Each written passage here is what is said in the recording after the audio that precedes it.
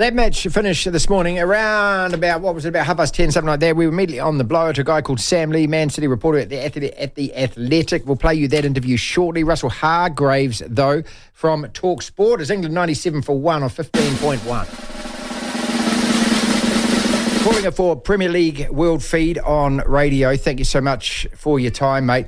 Uh, what a cracking game. Just uh, let, us let's establish that first. That's that's the Premier League at its best.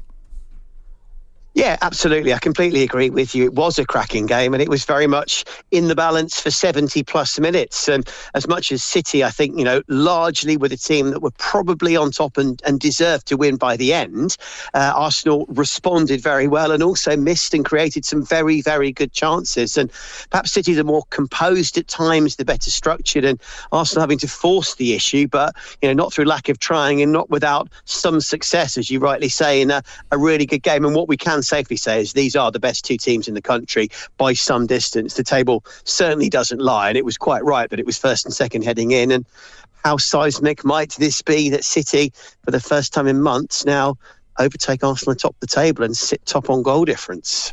Well, we asked before the game what a Man City made of. They, they, they have just shown us that. The question now goes back to Arsenal and to and to Arteta, doesn't it? Okay, uh, this is a real slap in the face, but there's still a lot of games, a lot of points out there. You aren't in any other competitions to complicate things. What are you made of?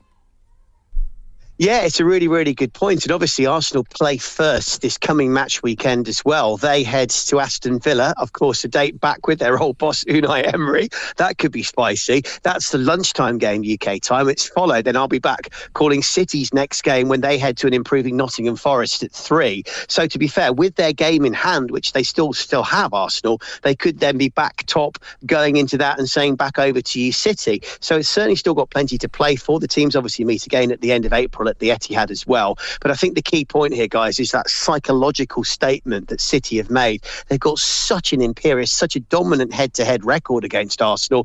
Arteta's got such a, a poor record at the moment against his old former mentor in Guardiola, and all that side of things has continued. And Arsenal historically in recent years have been woeful when it comes to taking on the reigning champions. That's continued as well. So there's quite a few questions for Arsenal. And having been eight points clear a month ago, really puffing their chests out, responding to so many pressurised situations so effectively. I think of the Man United game that I covered for the club for Arsenal TV. That was a month ago.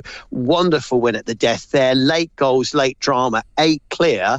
Now, with what one win in their last five, no wins in four, you do just wonder where they're heading from here. So, their response to the next couple of games against Villa and Leicester is massive. In contrast, for City, after their own blip, they're still not probably at their very, very best, but they're just refining their form at the best time. They've got so many options, so many quality performers, and you know, they had that swagger, that belief, that confidence, and they've kind of put the upstarts, dare I say, in their place for now. And it's not definitive, it's not pivotal, but you do wonder if this was a, a big, big step toward the end of season, maybe City winning that Premier League title again, as we say. Two halves. First half, Arsenal competing. Second half, City overran them. What did you put it down to? Yeah, it's a good point. So obviously, in that first half, we saw Eddie Nketiah miss a couple of good chances. Uh, really well taken goal from Kevin De Bruyne. And what will really frustrate Mikel Arteta is for both of the first two City goals, that one that we've just mentioned, and then the crucial one on 72 scored by Jack Grealish. It was an Arsenal mistake that led to each of them. Tomiyasu back into the team didn't really work brilliantly. His awful back pass, De Bruyne's great finish for the first, and then it's Gabriel who gives the ball away for the second. And as well as City then went through the gears and flowed their passes through to Grealish. That was ultimately another moment where they shot themselves in the foot. Back to your point, Arsenal did so well to equalise. Bukayo Saka, penalty, not penalty. We were slightly uncertain, but ultimately he was taken out, in Nketiah, by Ederson it was given. It was certainly not going to be overruled. I thought Saka, after his penalty heartbreak with England all those months ago, just took it so calmly, so clinically. At that point, one all, it's so in the balance, isn't it? Yes, City kind of slightly fortuitously hit the bar through Ake when it rebounded off him and just about stayed out.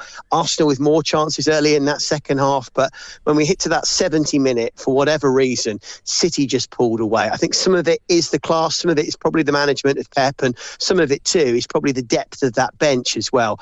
Arsenal really miss Gabriel Jesus. Nketiah fluffed his lines, I'm afraid, in a big game. Would Jesus have probably performed better? I think the answer is yes. They missed one or two key performers. No Thomas Partey today was so, so costly. Jorginho, the Chelsea veteran who signed in January, came in for his first start, did okay, but doesn't have that drive, that movement through midfield, that kind of real pomp that Partey gives the team. That was costly. City have just got that bit more quality, that bit more depth to their squad. And maybe Arsenal at times have papered over the cracks a little bit. And as much as Trossard has been a fine acquisition, have they done enough in January to have the squad that they need to compete right through to the end? On the evidence of tonight, when you compare it to City, bringing on, for example, the likes of Phil Foden, Akanji helped stabilise the ship as well there is a bit of a difference there, isn't there? So, for quite a few reasons, City pulled clear. And when you've got someone like Erling Haaland, 32 goals now in all competitions this season, 26 in the Premier League. He was a proper all round Colossus today as well. He held the ball up well, he was strong. That was when he was only half fit and was an injury doubt coming in. Just the one goal today, but his all round display, as my co commentator Chris Perry, the former Premier League defender, said to me, it's probably one of his best performances. And De Bruyne, when it mattered after a quiet run, run of 13 games without a goal. He stood tall when it mattered as well. And yeah, it just clicked and they got the job done. So I think probably for some of those reasons, that's why they pulled away toward the end and got that big win. Devlin. The platform. That's Russell Hargreaves from talkSPORT talking immediately after the game. I mean, it was a hell of a hell of a match. Great for the neutral. I mean, we always say that. Great for the neutral. If you don't have any skin in the game for either Man City or Arsenal. And being a United fan, I don't. I mean, because I don't actually realistically think that we're in this title race. I think those two teams are, and those two teams still are. And even though Arsenal will be feeling pretty deflated about that because they got outplayed by Man City. That's that's the worst thing about it. If they'd gone toe to toe and they got a bit unlucky, but they didn't. In the second half, they got outplayed. And so now the big test for Arteta and Arsenal is how do you respond to this? And the way that they respond is by going to Aston Villa and beating them. Because you've got to remember, they've only lost three times all season. They lost to United at Old Trafford. They lost to Everton a couple of weeks ago, where they played terribly. And Everton just basically kicked them off the park, got three points. And now they've lost to Man City, where they got outplayed. Everyone else, they've had a couple of draws, but most of the other teams they've beaten. You've got to go back to that, to, to that state of mind and be confident about the fact. Listen, you've gone out there and outplayed every team and, and beaten them well.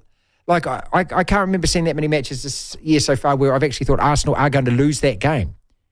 You know, they they are a really good side, but as Sir Alex Ferguson always said, the first one's the hardest to win. It's easier to win once you know how to win. They've got to understand how to win a title. And look, it took Liverpool 30 years after being the most dominant force in both English and European football, 30 years without a title. Got close, got close, got close, choked it, got close, choked it, got close. Finally won one. And you would have thought gone on from there, but haven't been able to do that so far. But Man City, when they won in 2012, and that's the first Premier League title for them, when Aguero scored that goal against, you know, you, you know, you got to remember. I mean, everyone thinks, oh, what an incredible moment, what an amazing moment in the Premier League. That was just about the biggest choke job ever. They were home to Queens Park Rangers, who I think had already been relegated. They only had to beat them to win the title. They were 2 1 down when the 90th minute mark went and scored two in injury time or two in extra time or whatever. You know, they, at one stage there, they had a 12 point lead on Man United. They beat us 6 1 at Old Trafford that year. I mean, everyone remembers it because Aguero got the goal. That could have been the worst choke ever. And what would that have done to them? But they won it and they've built on that and overspent and cheated their way to many titles since, have they not? Devlin. I'm as bad as hell, and I'm not going to take this anymore. The platform. Title showdown then. You just heard from Russell Hargreaves, another interview that we recorded immediately at the conclusion of the game. Um, the Man City reporter Sam Lee from The Athletic we spoke to. 340. Hell of a game, Sam. This is what I said to start with. Hell of a game, real contest, uh, a match worthy of the billing. It's a huge win for City. Um, being in the stadium, it, it just felt like the the air went out of the balloon for Arsenal because City were much better in the second half than they were in the first, but it still felt like Arsenal would get the goal. I don't know if that's because, well, it's partly because of how, how they were playing, the threat they've got on the break, but it's the belief inside the stadium. The fans were up for it. You know, Zinchenko was geeing up the, the fans from, from, from throw ins, and it just felt like they had all the energy. It felt like all the breaks were going against City. And I don't necessarily mean bad decisions. I just mean, you know, getting the penalty, but then getting overturned for offside you know, Grealish getting booked for dissent. It just felt like everything was going against them. The three bookings in the first half, it was like, okay, th- this is not City's night. It's it's difficult, you know, and you could easily see Arsenal scoring on the break. And then to get those two goals, it just felt like two sucker punches. And like I say, it just felt like the air went out of the balloon. So yeah, immediate reaction is it's just it's just a massive win for City, and you know Arsenal are going to have to pick themselves up now. Maybe they do, but you know there's there's a big question about it now. It's very very interesting the title race. We, well, we always during the title race go back to pivotal moments, don't we? And you know, you'd be naive to suggest that hey, it's over now because there's way too many points and games left out on the table. But Oh, yeah. psychologically, this is just massive. Yeah, it is. I, I mean, as much as as much as anything from the Arsenal point of view, you've got the City point of view. You know, a couple of weeks ago, Guardiola called out his own players um, in terms of their hunger and desire, saying, if you know, Ars- no, if we play like we have been against Arsenal, they'll destroy us, and that was his words. You know, destroy. Um, he- the whole challenge was to match that kind of energy, enthusiasm that Arsenal got, which I just talked about. That enthusiasm inside the ground. I was with Arsenal fans beforehand, and you know they were like, "It's the biggest game they've had there in years." The atmosphere was was great. They were really geeing them up, and there was that kind of belief inside the stadium that they would. And City had to match that, and they had all those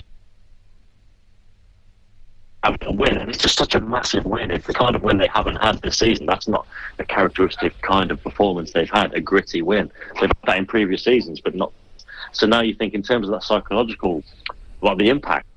Obviously, you've got the Arsenal situation now, where there's three games now where they've got what one point. So that's that's something people are going to be asking questions about. But in terms of City and proving to themselves the hunger and belief and fighting and determination and all that, that that was it. That was exactly what Guardiola was looking for. That was it. And where, like, where do they go from here? Like, obviously, it looks right now very good. Sam Lee with us, who's a Man City reporter at The Athletic. I love the fact that, you know, you talk about it from an emotional perspective because that's what the game is. It is about emotion. It is about feeling. You're talking about human beings and all of these intangibles actually do add up. You could see it in those City players' faces in the second mm. half. I mean, they actually start, you know, they, they started stringing passes there, created those chances. And I don't know whether it's self-belief because these guys should have massive self-belief. I mean, they're some of the best players in Europe, but it's still football, isn't it? You've still got to go to a place. You've still got to face, you know, 90% of the crowd is against you. You still got to, you know, the referee might call a couple. You know, Arsenal got back into that game with the penalty. You know, all of that kind of stuff. You've actually got to have resolve. You've got to have some grit. You've got to have something.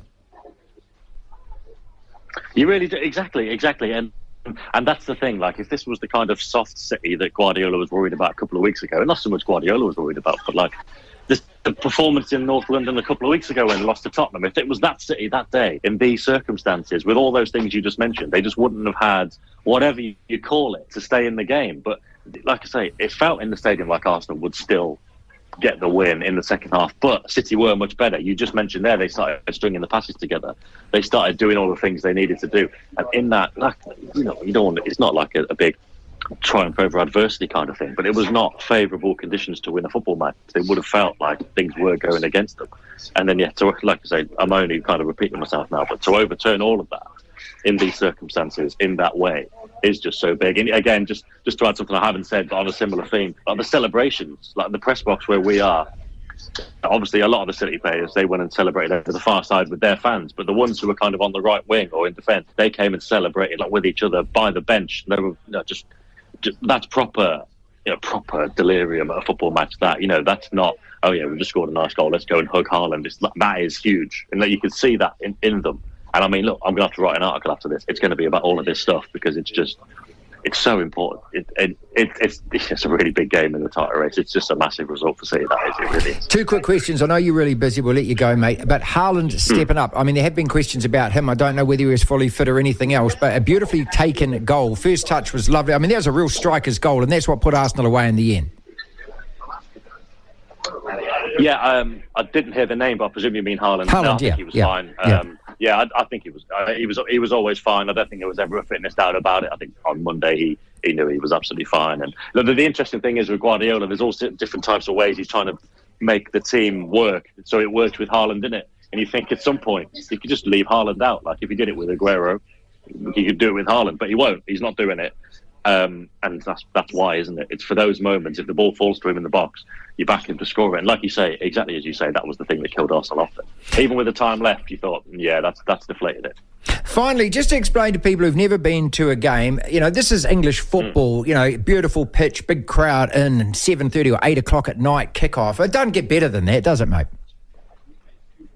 No, it was brilliant. Um, I went to meet. I actually went to meet a mate of mine who's an Arsenal fan, and I bumped into some other lads who I didn't know before, but we were speaking before, like pub before the game, pint before kickoff.